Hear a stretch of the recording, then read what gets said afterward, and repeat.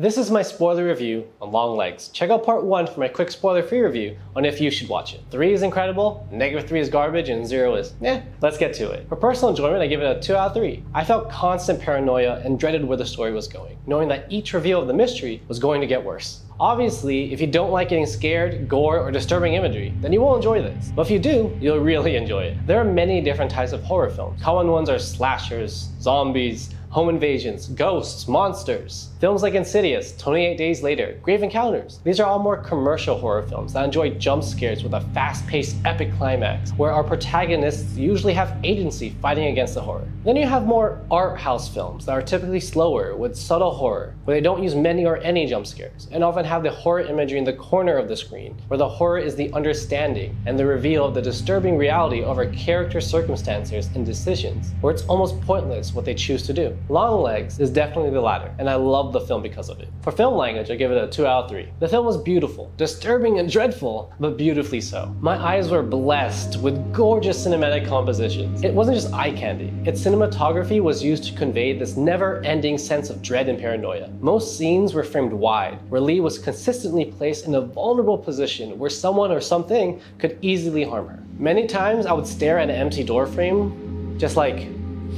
oh, ooh, I hate this. Something's gonna, ooh, I hated it. I hated it, but you know, I loved it.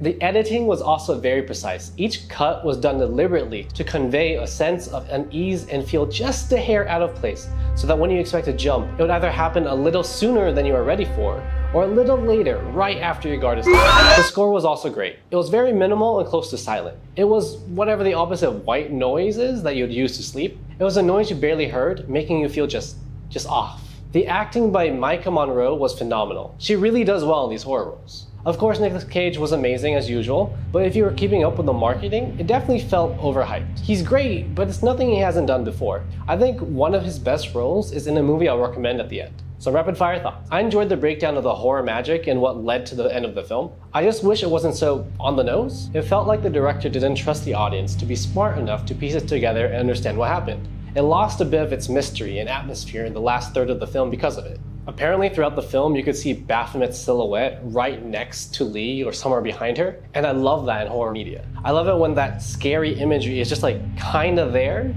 kinda not. You don't know, but you just feel unease. I love that. Also, the first time you see the eyes of the doll glow red through the black veil, it gave me chills. Did it affect you? Let me know your thoughts on these. Ask me questions, tell me your favorite scenes, let's discuss this movie in the comments. Also tell me what movie you'd like me to review next. For the final score, I give it a 2 out of 3. Here are some film recommendations. For a disturbing imagery with a mystery that slowly reveals the true horror that is reality, The Blackcoat's Daughter. That one really got me. The imagery there just like, it just stuck with me for some reason. It wasn't like, ah, scary film. I felt unease after watching it. I just, like the scare, like the horror dread just clung on to me. For more of Nicolas Cage in one of his best acting roles, Pig. Watch Longlegs yourself to form your own opinion, and I'll see you at my next film review.